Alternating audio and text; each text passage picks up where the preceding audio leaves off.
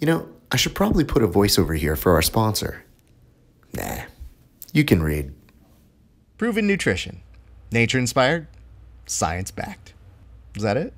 You know, I got a couple taglines that I can go and just toss in here for variety if you guys like to hear them. Proven nutrition. Drink it. Or else. Now, yeah, you know, I heard it was bad when I said it. What's that? I'm fired? Okay then. It's time. All right, ladies and gentlemen, you know one of the nice things that you get here is when you find savages, you find them in different places. I happen to know a few who live out in San Diego, and one of the nice things about that is when you run into somebody who's got military experience, he wins a nice championship belt in MMA, but his heart lies in jiu-jitsu. You want to talk to that person and find out what the hell they are doing with their lives. So, I guess what I have to say for you is this. If you want to meet somebody who's an awesome human being, you meet one Nick Badis. Ladies and gentlemen, let's do that right now. Let's say hello to our friend Nick Badis. How are you doing, sir? I'm great. Thank you for that wonderful introduction, Raf. Really appreciate it. Yeah, it a was lot all of right. nice words. Uh, we, I mean, here's the thing. You're a good guy. Um, we happen to uh, know a lot of the same people who are our homies. Yep. Um, a lot of unfortunate human beings. Uh, you know, Juan Bernardo is not exactly one of the world's leading best people, uh, but he'll do. Uh, but I remember very distinctly he had mentioned when we had a grappling tournament, he had, he had thrown your name around, and for whatever reason, we couldn't get you to go compete with us. And I was so mad at you because I knew enough about you. I knew about your ability to come bring it in competition, and I was a little disappointed that we couldn't make that work. Yeah, um, if I recall, I don't know what was going on. I might have been like Thailand or another tournament or something. Yeah. Uh, but yeah, I remember because I had wanted to get onto like an EBI. I was really into grappling at the time and really wanted to step up on that kind of platform.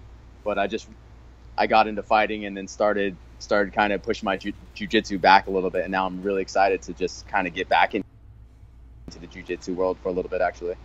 I mean, that makes sense. And the, the hard part that I don't know that people understand is when you have to give up uh, having jujitsu as a thing, it's not like it's an easy thing. Like, Not even. people hate having to give that up. Yeah, I mean it, that's life right there. Is jujitsu, honestly. So if you Mm. can't get on the mats and like I'm forced to be hitting a bag or or working on something else, then it's like ah, it's you know you got to get it done. But at the same time, it's like your love is right next door on those mats where you get to just kind of lose yourself. And a couple torn knees will do that to you for a little while, though. Is that what happened? You had a couple torn knees going there? Uh, meniscus, LCL, uh, MCL uh, on both knees. But so just a lot of physical therapy, and you're back in the game. You know, you just got to take the time to actually do those bullshit booty band workout exercises and get get your knees back back going. It's you with a whole bunch of uh, ladies who want to get like their beach body, and you're just like, "What up? What up, Kim? Kim, you're doing your greatest. You're living your Yeah. best life." Yeah, I wish that were the case, but typically it's me in like a hot garage, just sweating my ass off with bands and some sweats or something. Let's tell me about this because I want people to know right off the back. Oh, You just won a championship with Tuff-N-Uff over in Vegas. Tell us a little bit about how that fight came together and how it went down. Well, so I mean, all of my f- fights go through my coach, really, uh, Tony Palafox at Victory MMA. He gets he gets all of our fights for us and handles everything, and he tries to just get with the best organizations possible. And Tuff-N-Uff was one of those opportunities that we had.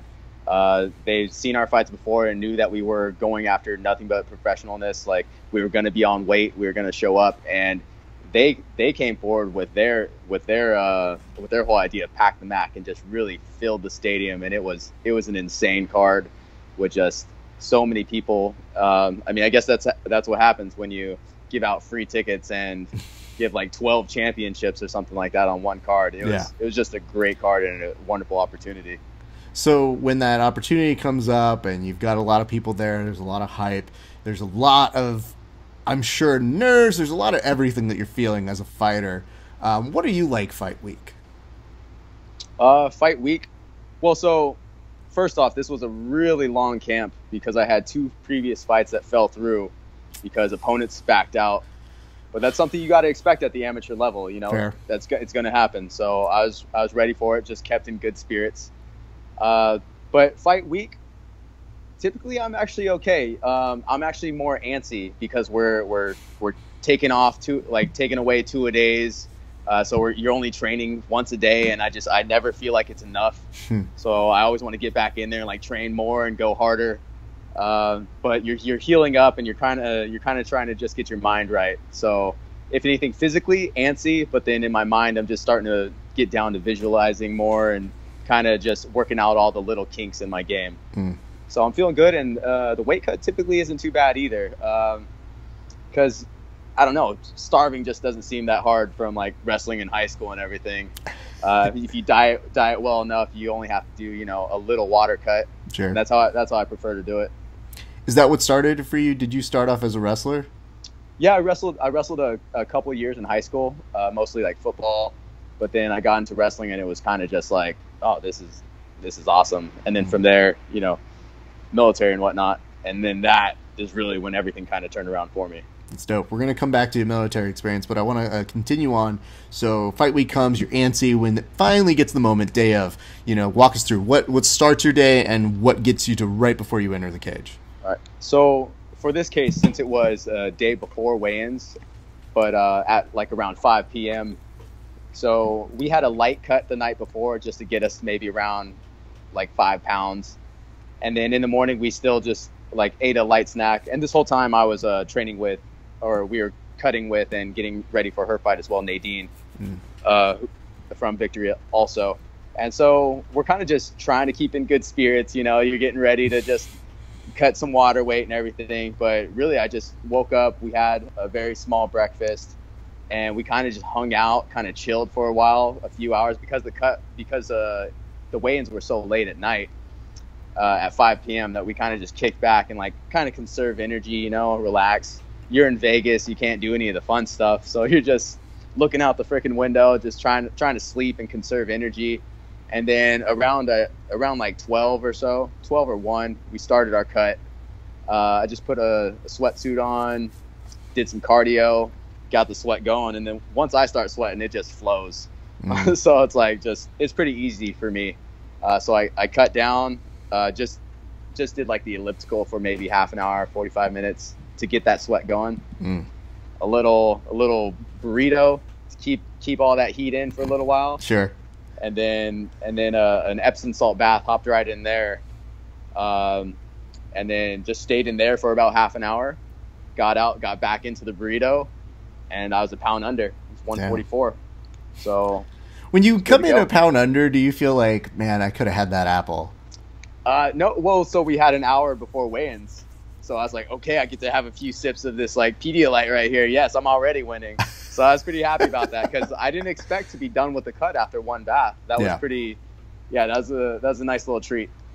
That's awesome. Well, one of the things I like about this is you mentioned that you were able to do that with the teammate from Victory MMA, where you trained out of San Diego.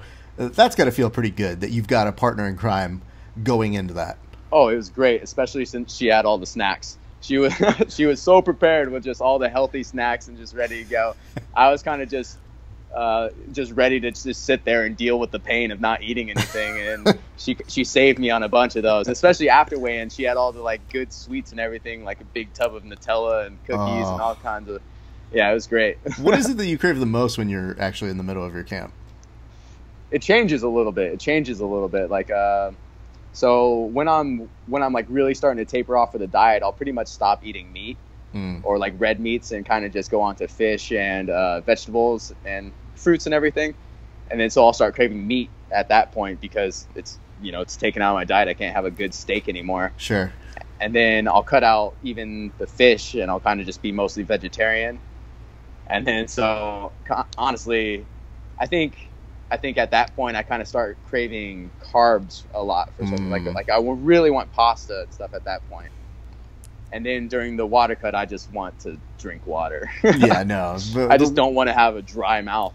you Yeah, know? the worst is trying to explain to people like, yeah, water's what they can't have and is what they need, but it's also one of the few things that you're like, I thought that was good for me. it makes you appreciate it more though it makes Yeah. you appreciate like how much how how delicious water really is Mm. because some some people are used to just you know drinking drinking a coke every day or something and it's like there really is something too like what you need to live yeah, one hundred percent. I I appreciate that the most. So you get all the way to fight night. When you're there, you're about to enter the cage. Um, you know, you don't know that you're gonna hundred percent win. You know in your head, I'm gonna win, right?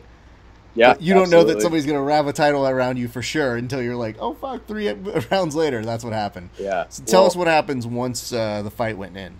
Well, for me, it's like I'm gonna win or I'm gonna die. That's how I treat these fights. Mm. It's like where it's it is a battle for life and death. If there was no referee in there, what would happen? You know, Yeah, yeah. you're you're not gonna let go because someone's tapping. You're gonna break something. Yeah. You're gonna choke them out. Uh, but so I'm walking to the cage. I'm just trying to. I'm I'm pretty like blank faced. Just trying to. I'm in my zone. I'm getting getting kind of a little too amped up sometimes. uh, getting ready for that adrenaline dump to hit. You know, and being like, all right, fight through it. But really, I'm just trying to like hit a point where I'm not thinking at all, Hmm. where I'm just I'm just ready to go and kind of like reading my emotions a little bit. Like it's it's easy to mistake all of that adrenaline for something like anger, but really it's just kind of trying to get into a zone where I'm just not thinking. I'm kind of a blank canvas and I'm just ready to ready to paint that canvas with uh, my opponent's blood a little bit. I like that you say that a little too calmly, so uh, it's a little terrifying to me. Uh, you had a great fight, dude, and, and one of the things I always like, and uh, I, you know, it's hard for me not to root for somebody who loves jiu-jitsu with a passion. So whenever you see in the UFC and you know that person probably won't win, but it's the jiu-jitsu guy, you Yeah. go, I really would like to see them win, Yeah, despite science and probability saying they will. Yeah, more Um, advocates for jujitsu. But but a big thing that I was really impressed with when I got to see your fight was your composure, and I think your your stand up looked very solid, dude. So I think those were Thank two you, areas that you. I was, you know, especially again being on the jiu-jitsu side when you go, oh, he can strike and he's jiu-jitsu. That's what we need, everybody. Well, so that's one of the things I kind of like to do is uh, I, I'll take my strength and that that'll be my my kind of last trick that I got in my pocket, you know. So I try to work on the weaknesses. Like so, I believe that my biggest weakness is my striking. Mm. So that's what I'm going to work the hardest. That's what I'm going to work the most. And this camp kind of it it was very rewarding because I saw it and I was like, oh wow, my striking has improved tenfold since my last fight. And I always feel like I have something to prove out there, like to show my weakness and to show that it's gotten better and that I'll take this wherever you want to bring it, you know? Like I'm going to control this fight wherever it's going to go.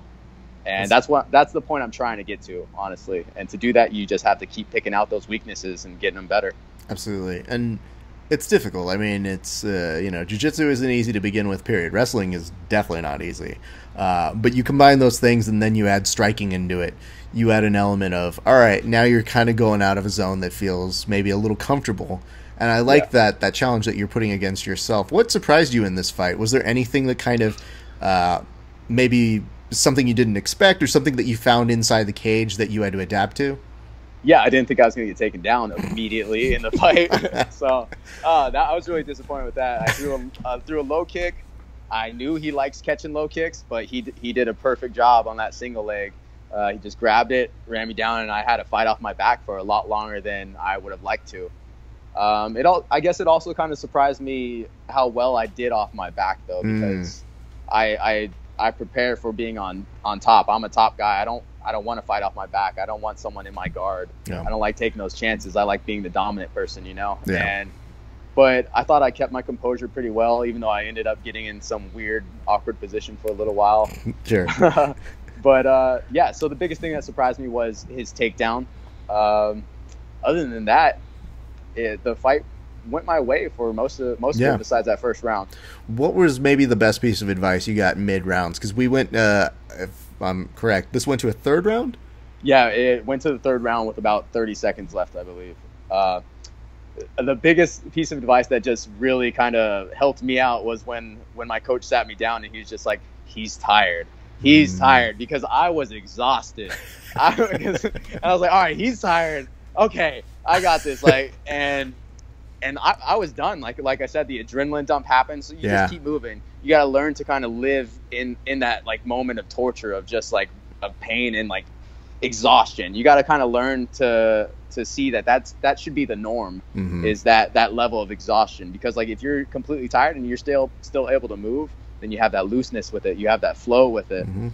and so i was trying to find that and he said he was tired and i was like all right cool let's get this in and he came out and he was you could tell he was tired so Mm. it kind of really motivated me to just keep pushing it keep pushing the pace stand in the middle and make him go against the cage and push him back That's dope, dude. And and and what was the finish for people who haven't seen it? Because I know we put it up on our site. Uh, just because when I saw it, I was like, "Yo, people should see this, man." but I also, if people haven't seen it, what what would they see, and and why would, should they go look at that?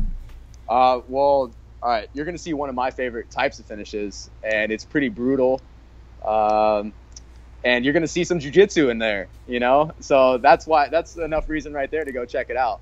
And it's it's honestly one of my favorite moves in jujitsu. I like staying on top this way too. I don't roll my back or anything, Mhm. but so I ended with a a uh, a mounted a mounted triangle and just ground and pound from hell.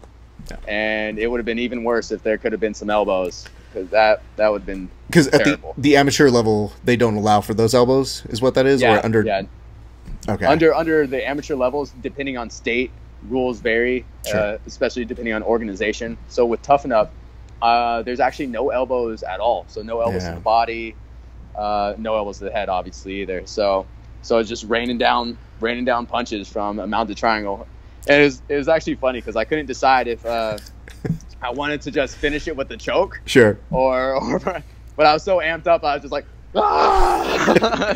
to be 100% sure there was uh, not hesitation but you get to that point where you've earned this dominant position. You're kind of like uh, you got that Ricky Bobby like I don't know what to do with my hands where you're just like should I? Oh and like I, I 100% saw the look of elbows in your face but I was also thinking to myself I go man that's so clean. Because especially when you know the result you're like I know he won but it's really fun to go back and watch uh, how so Yeah, for me I I'm, I'm a big journey person and when I saw I was like oh there is jujitsu there hold on here is he gonna finish with this choke and I was like oh no he's going the the mall ground and pound route that's terrible Yeah, it's it's pretty hard to get in a less dominant position Yep. than a mounted triangle. So that it felt great to be able to go to the third round and then finish it with only 30 seconds left. It's like, hey, no question. You know, you never want to leave it to the judges. So oh dude that was yeah. That's dope, especially with those last thirty seconds. You know, it really does show a good sense of resolve because you know you're, you're admitting you're you're tired, but you find out mid round or in between the rounds when your coach is kind of like, "Nah, look, he tired," and you're like, "Oh, dope."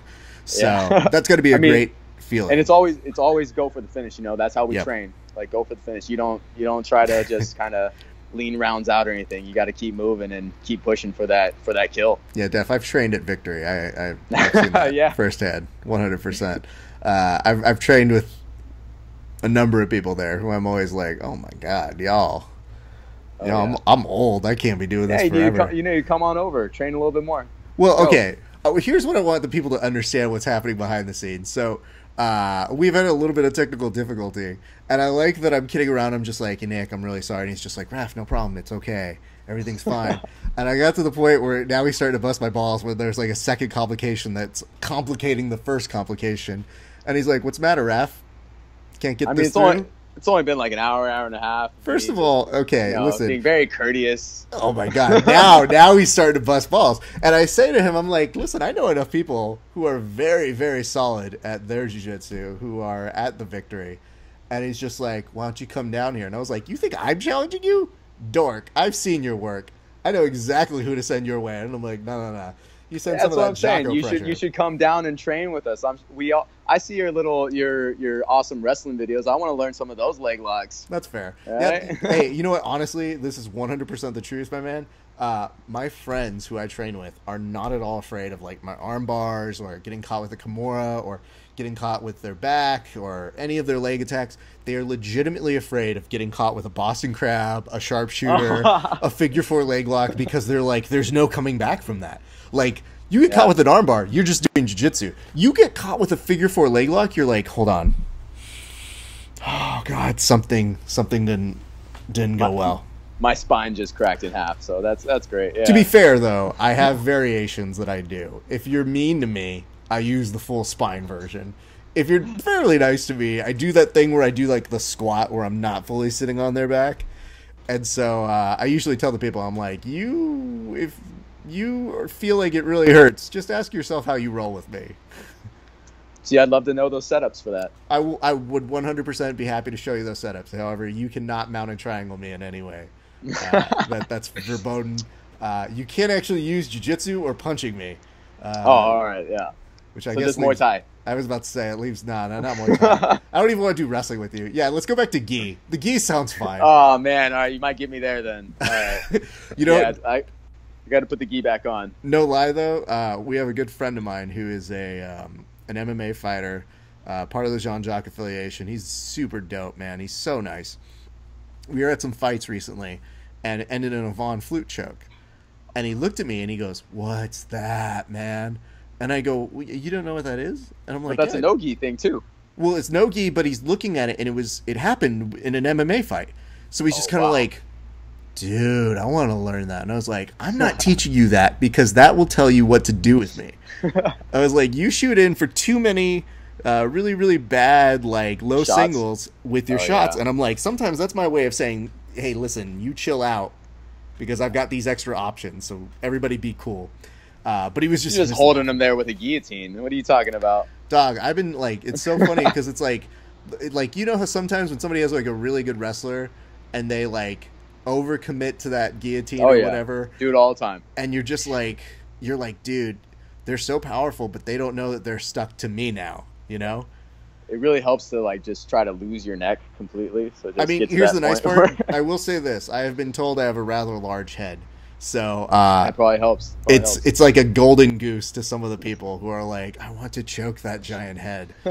uh, anyway, enough about me and my shittiness. I'll come train with you. I would love to train with you, sir.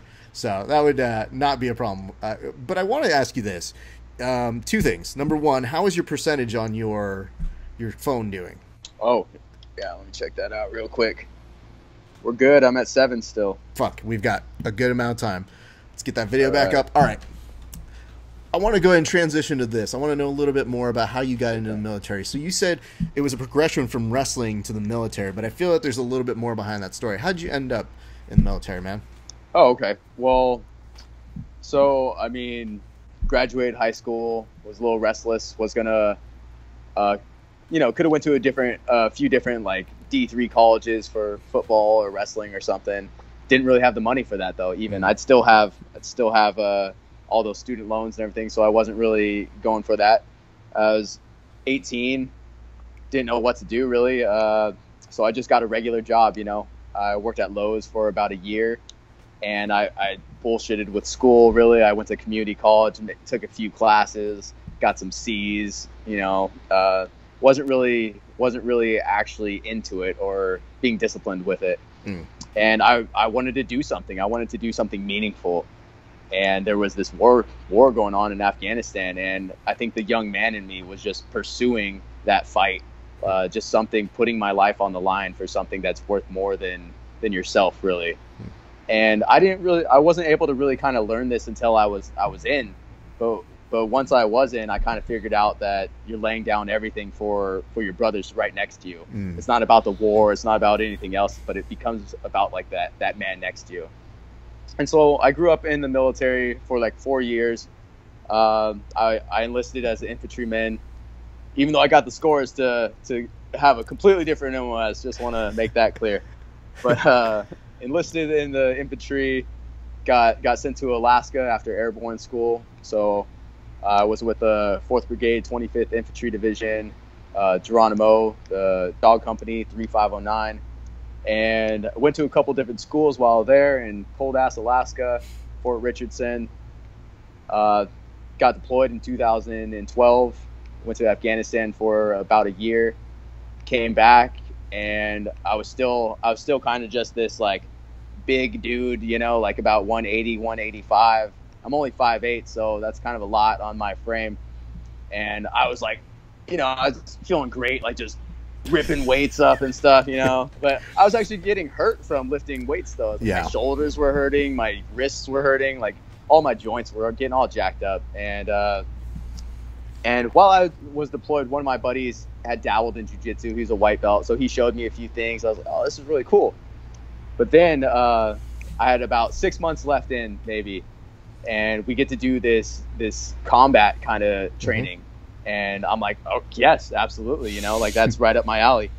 Um, and so we get into this, and me and my buddy volunteer, so we get to go do this training, and it's like full fledged like fighting, but in your in your camos and everything. Mhm. Basically, it starts out first round is jujitsu, second round is like kickboxing, third round's everything, and then fourth round is like cage if you make it that far. Hmm. So we- so we got to train for maybe a month before going into this tournament, and so besides my buddy that that was in the same unit with me in Dogco, we we met another guy who who kind of changed my life for jujitsu, and that's uh, Jason Hayden.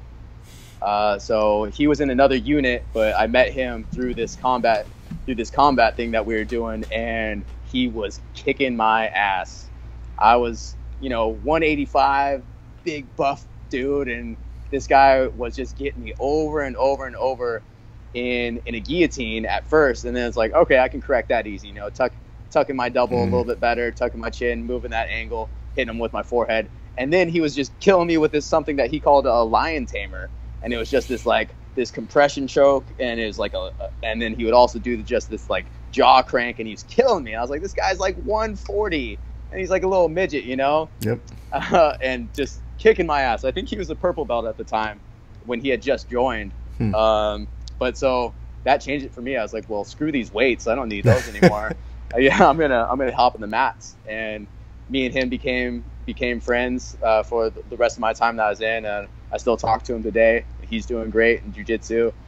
Um, and that kind of just that locked it in for me. I knew I knew I wanted to get into jiu- jujitsu right after that. It's so funny how many people we've met who, uh, I mean, both Hayden's for different reasons. Oh yeah, Like they're just, uh, well, there's three of them, uh, but they're all upstanding human beings, and everybody who I've said anything remotely to about who have lived, like when you mentioned Alaska, I was like, you had to have run into Hayden.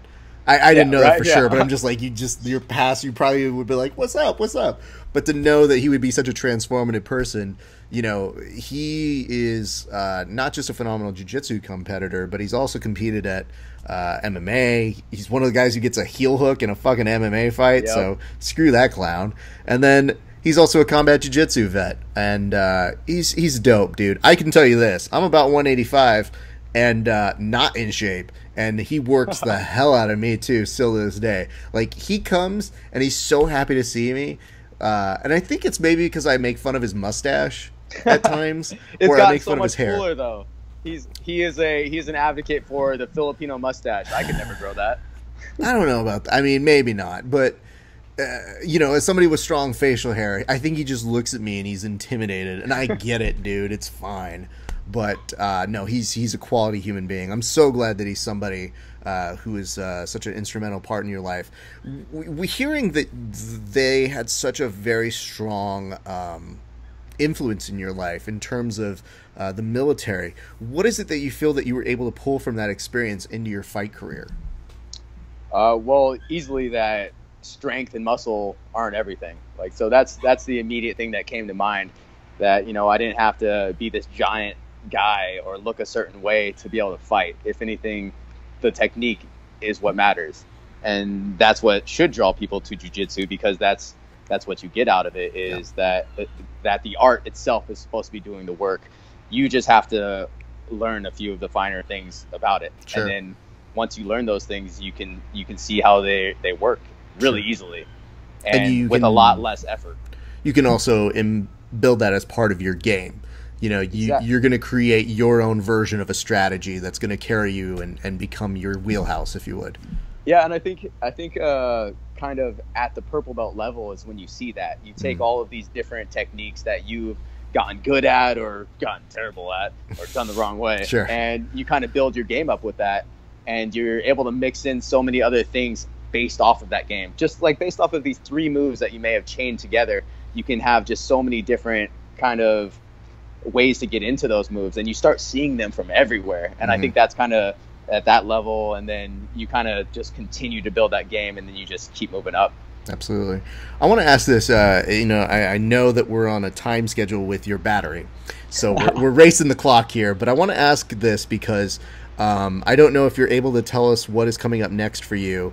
Um, but I did want to ask. You did go to the MMA awards, the World MMA Awards. What was I that did. like, man? It was it was great. Um, I was there for Ilima-Lei Macfarlane. She was nominated for Female Fighter of the Year for Bellator, and she she actually got to announce one of the awards too. So it was pretty exciting. Like I was just But I mean, I was mostly the purse guy. Sure. know, so I was just like holding the clutch and everything. But you did it great, man. You you fulfilled all of your duties uh, akin to one Miss America, just Yeah, sitting there smiling. Uh, that then means so much. As you were looking around, like even some of the photos you took, you're just like, I'm just here as the purse guy, and I was like, yeah, you could do worse. Yeah. So I mean, so for being there as just the purse guy, it was it was great because there was just you're surrounded by so many people who have accomplished so many things. Sure. and for fighting, you know, and it's just all these people that are in, like just in that environment and working hard for their dreams and like actually achieving them, actually getting some accomplishments being noticed for for fighting, for doing what they love, you know. So it was a moment of like, wow, like I I could be here. Mm. And so I really appreciated just being able to be there surrounded by so many so many people that are just I mean so influential in this kind of world and Sure. and are trying to be more influential on on the actual world too. Like Brian's Ortega, Brian Ortega's speech was was great. He, he seems Yeah. like just a great stand up guy and everything. I was really angry I missed that fight. We found out right after that award show actually. That's that's But- such a bummer, dude. I've always said, you know, and Brian Ortega, uh, somebody put a great meme. I think it was a Strangle Squad. That's like, uh, men hide your ladies Yeah, around this yeah. guy, and I thought that's like a really funny the joke. guitar, doing jujitsu. Him in a cowboy hat, just like riding a horse. It's like Come on, every who single. does who does all these Yeah. things? And we had one of our friends who was giving him shit and being like, "He's not that pretty," and I was like, "Dog, he looks like a precious unicorn." That we need to protect with those cornrows. that ever he gets there, like he just does that like like real innocent blink, like, "What's up? I'm Brian Ortega." And, I'm like, It's "Dog, crazy too how he kind of just blew up out of nowhere, just from guillotines from hell. to, Like Dude, put him on the I've- map. Then, I've have enough uh, mutual friends who his guillotines every single one of those people just speaks the truth and it's you know it's been nice to watch him on this resurgence back in the UFC putting in the time and one of the things that really upset me is there were people who were saying he should have taken just any fight uh, to get his show money and it's like dog that was the whole reason Frankie Edgar didn't get his title fight and to be fair Frankie Edgar had already been there for I Brian think- Ortega, I think for me personally, Yeah. to see him throw away a title shot that could literally change his life, and especially like you mentioned, change other people's lives with the influence he could have, is I think a bad choice. yeah, but I think at the same time, a lot of people don't realize at that level. I'm sure the preparation is a little different for something where you're just going like, "Hey, let me fight anybody." Yeah. I'm sure like his reaction times are based on something that that Holloway might throw. Yep. Uh, rather than a certain combo that Frankie Edgar might throw a little weird or something, you know. And to be perfectly honest, Holloway's uh, his style is so so fluid, uh, fluid and Yeah. funky in itself that it's like training for that specialized version of it is is an entire camp that people just say Exactly. get rid of. Yeah, and then imagine like there's always just that puncher's chance. Yeah. So imagine even if he like just gets knocked out, and then there all of a sudden there goes his his legacy of being undefeated, being able to get the belt. Like he wasn't able to win the interim title, so I thought it was a, a smart move on his his part. You know, he he's got plenty of time, and I think that fight will still happen. So I think so too. to I. I, I feel though that uh, it looks like Max is he might be out for a little bit, but I, I can tell you this as a fan, belt no belt, I would love to see that fight. true, absolutely. Uh, so that's awesome, dude, and, and you were able to enjoy yourself uh, a little bit. It was after your fight, so you get to Yeah. enjoy yourself and do that.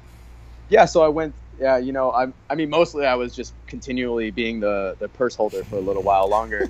uh, I mean, well, she accomplished a lot more. You know, she defended her belt the day before the, the day before my fight, so I was kind of just happy to be a part of that, and you know, uh, kind of just put my belt aside and be like, hey, I'm ready to start training again for the next one, anyways. Mm. You know. Well, speaking of, do we know when that is? Are we allowed to say when is it coming up? All that good stuff. Uh, yeah, so I'm, I'm not sure if we're allowed to say right now, but there's definitely uh, another one coming up. Uh, me and Nadine will be on the same card defending our belts in Las Vegas again. Um, we're just uh, actually, yeah, Nadine's is set for her rematch Mhm. in, in Vegas, uh, September.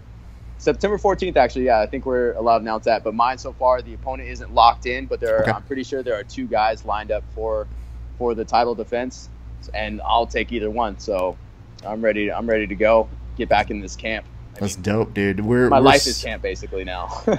I mean, here's the thing, dude. you could have chose a lot of different uh, career avenues to go through, but you, you chose the one where you go, all right, for this many years, this is what it is. Uh, a holiday suck. uh, Yeah. friends and family, uh, time out everybody, got to do some stuff. Oh, man, dude, I love it. I mean, um, I, I actually quit my job in May to uh, to pursue this. So Didn't you just graduate recently, too? yeah, so I, I graduated from USD with my degree in accounting, um, and straight out of college, I, I got a I got a job with one of the big four accounting accounting groups. Uh, worked with them, did all my training and everything. Was like five six months in, I knew immediately it wasn't for me, and that I needed to pursue my dreams. So it's badass, dude. I saved up a little bit of money, you know, enough to live off of for a few months or so. Uh, I quit, and then kept kept trying to have these fights happen while I was actually while I was actually working, but uh, people kept dropping out. So I finally locked in a fight, uh, got on it. I quit my job. I I burned my business cards in a sacred fire after a sweat lodge session and uh, moved on. You know, went towards the the fight life now, and that's that's what I'm all about. Good for you, man. That's awesome. And you know what? The nice part is this: you spend a nice part giving part of yourself to our country. You spend a good amount of your time uh, going and furthering your own education. You know, you've got things that you can fall back on, obviously, and the fact that you know the fight window exists for so many years, and there's not really a second guessing. And knowing what I know about you and so many people who are in the fight business, if you if you feel compelled to do it, you have to. Or else you, you drive your brain crazy and then when you want to do it you can't. So it, it, it's all completely uh, a valid choice and, and rightfully so with you having a title now Yeah, I mean, don't ignore the signs. You know, there are people that there there are constant signs and signals for them to be able to pursue their dreams and be happy, and Mm. it'll be hard, of course. Like, but that's that's kind of part of the reward that you have to go through these difficult situations to kind of get to that next level. Mm. If you're stagnant the entire time, you're not facing any adversity, then of course you're not going to grow at all, and then you're just going to stay in the same level and then just kind of be dissatisfied with yourself. So you got to push yourself a little bit and recognize the signs and opportunities that come along. And that unhappiness was kind of like a hey, you know, go on and fight people. and, and it was it was hard being in an environment where I was just sitting at a desk all day, like 10, 12 hours a day, like at a computer, just like this is great, you know? like and then the only thing that kept me alive was, from that was wanting to go and train afterwards. Yeah. That brought me back to life. well, keep in mind it's probably also super weird for the rest of your colleagues i'm pretty sure all of whom which aren't going out and ultimate fighting people uh, shortly after getting off of work Well, the weirdest thing was how I was just trying to push them all to kind of pursue their dreams and stuff. Like, this is what you want to do, man? Like, you want to just be someone's like little bitch for hours and hours and just running these boring numbers and stuff like this. Like, it's not even a real job. What are you doing? You know? I mean, I love learning and everything, Sure. but when you're sitting there just doing repetitive stuff over and over that isn't really helping you get anywhere, it, and it's all about the paycheck, it's not worth it. Yeah, it's hard. I mean, there are so many different perspectives of it. You get people who put in the time for any number of reasons. Some people actually do love it. I kudos. To There them. are there are a few, and I'm I'm happy for them because I don't know how they do it. Uh, listen, dog. I'm I'm not an accountant for a number of reasons, but I, I love the fact that you were able to take that, get what you needed out of it, and again, you can always fall back on it, and that's that's the best part about it is you know you never lose that training. No, but I'm not saying fall back on that per se, but those No, you. skills that you can always continue using forward for any number of avenues. Especially you see so many fighters have uh, second and third lives as entrepreneurs or uh, doing their own business, and I think those are the applicable skills that you can take forward. Um, well, that's dope, dude. I mean, we're looking forward to that. Uh, so, Nadine's date is when I believe it's September 14th, and we'll And be fighting be on, on the same card. And you're on the same card. Okay, great. So we're looking forward to that. Let's do this. At some point after that fight, I know I've got to find a time to get down to San Diego because I know that if I let you go too far out, you're already going to book another fight. Absolutely. I have this weird thing where I'm like, listen, I'm not saying I'm going to beat the shit out of a fighter. I'm going to say I'm such a klutz. I'm going to fall on them. And I'm going to do something to them. It's going to be like, oh, God, no, I fell on his leg. And now he can't there goes your fight. ACL. You know what I mean? Like, yeah. people are going to be like, Raf, what'd you do? And I was like, just be fat on him. There's nothing really technical about what I did.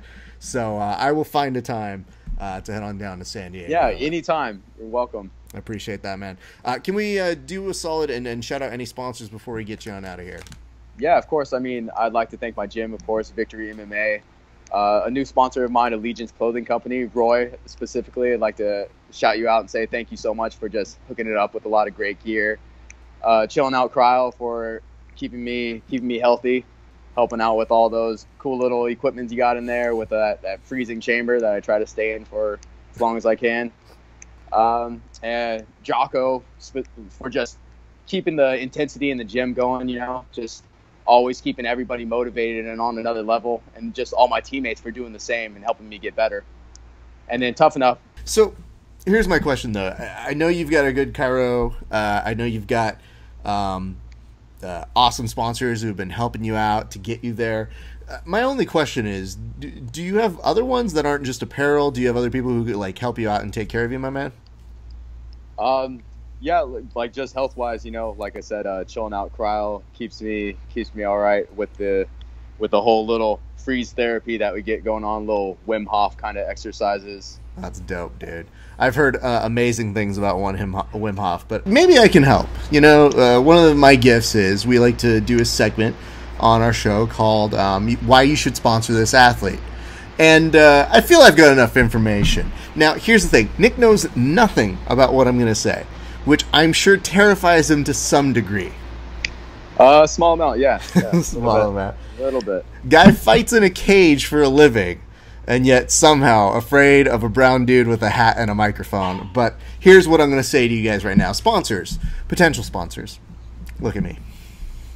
Do you see the specimen who is on this podcast right now? Obviously, I'm talking about myself, but the other one next to me on this picture frame. The thing you should know about Nick Badis is this one, served our country. Number two, fights in a cage and does it well. Three, gave up a lucrative accounting job so that he could follow his dreams. Four, he holds a purse at award show. Not just any kind of purse, but like a flashy purse. One that kind of makes you wonder like is uh is Nick uh I mean, it's fine if he is, but like is he cuz like it goes a little too well. And number 5, here's the biggest one. Uh, every single human being who I've encountered who knows him speaks well of him. His team speaks well of him. Every time I've gone to visit and I'm not even around him, I have heard fantastic things uh, for him. So he's not afraid to go ahead and make uh, not a fool of himself, but he kind of has this thing where sometimes he's a model. And I haven't given him any shit about that right now. Oh, but if you're looking for somebody who's going to be a model and uh, pose for those products uh, in a very nice way, I'm just saying you could do worse, but you're not going to do any better than one Nick Badis. Yeah, plenty of room on on my shorts for this next fight. Uh oh. I mean, they missed a few opportunities right there. I mean, my, my butt was just showing the entire time. I like those little tight shorts. So, and hey, on the on the purse thing, I mean, there are no there are no lengths too far you can go to be a gentleman. Okay, Yeah, absolutely. 100%. And- what being a gentleman. I hear you. and it matched my tie. So, I mean, you know, couldn't go couldn't be too bad. It wasn't too bad. But You know- thank you for thank you for that. I I really didn't expect that. I expected uh, I expected a lot more insults instead, but. You're just talking me up instead, and it's really throwing me through a loop here. Yeah, I know. I'm quite good at that. Uh, one of the things that's really hard, I think, for him to understand is, yeah, when we finished and we had a nice little break in our, our connection right now, there was a moment where I looked at some photos and I said, yeah, I didn't give him shit for half of these photos. Because there's a photo of you where you're in an elevator, I think looking at a mirror or something, and you've got your purple belt, and you've got that fighter look, but also a little bit of the suspenders and the accountant look. And I thought to myself, you know what? He really got away with murder on this podcast. I really did, honestly. There and you could go a little deeper than that, and I'm sure there's a lot more you could find to go off of. Uh, especially with my with some of my uh, graduation photos that I had taken. Wow. Yeah. you know what? I didn't even remember any of those. God damn, dude. You're a weird guy. But you know what the nice part is? is at the very least, uh, you got a good sense of humor about it. And, and I really do mean this, though. Um, you know, you, you are very well respected and uh, you, you got a good sense of, uh, of uh, personality with uh, responsibility with you. And that is hard to find because uh, sometimes people amp up the personality but forget how to actually be a human being sometimes. So uh, it is nice to see that, man, and we're very happy uh, to see you succeeding. So we're looking forward to seeing you get back in the cage. That's going to be September 14th, we believe, over sir. in uh, Las Vegas for Tuff-N-Uff. You're going to want to see him and uh, Nadine. And I saw you guys have been on multiple cards together. Yeah, we were on another one, uh, five five uh, five five nine fights up in Fresno. That was that was a really great experience as well. Y'all are, Yeah, yeah, that's a that's a yeah good. just tearing stuff up, man. I keep know. moving. That's a that's a great dynamic duo to have going there. uh, well, anyway, Nick, I want to say thank you so much for coming on the show. We very much appreciate your time, and uh, we hope to see you again, sir. And maybe after the Tuff-N-Uff, we'll get in touch with you again, sir. Thank you so much for having me. And again, remember, welcome anytime to come in. Let's catch some rolls. Probably not, but you know what? I'm gonna say I'm gonna do it, and then I'm gonna 100% be like, yeah, dude, no. No, you're you're skinny 155 now, but now it's all pure muscle. You used to be that 185, and you just replace it with muscle. I'm not looking for a hard time. Nah, it'll be great. Come on, we'll get some technique. You'll throw, you'll show me the the crab, the Boston crab, and everything. I'll only hurt you a little bit. Here's what I was gonna say. I, I will 100% roll with you, but uh, by the end of it, the the nice caveat I was gonna say is we'll give you a finishing move by the end of it, so that way you can terrorize people around for. the gym. Because uh, I have a feeling, and it's one of those things that I occasionally say to people, which is, "Oh, I regret teaching you this." There was one guy I taught a pro wrestling move to, and he was terrorizing people with it, and I was like, "You need to chill the fuck out, dude." He was like, "Really?" I was like, "I That know sounds to like my kind of move. well, uh, there's multiple moves, but the hard part is I know your style, so I know, uh, you know, there, there's some good variations from there. Anyway, ladies and gentlemen, I just want to say thank you again to Nick Badis. Thank you, Raf. Appreciate it. Have a good one.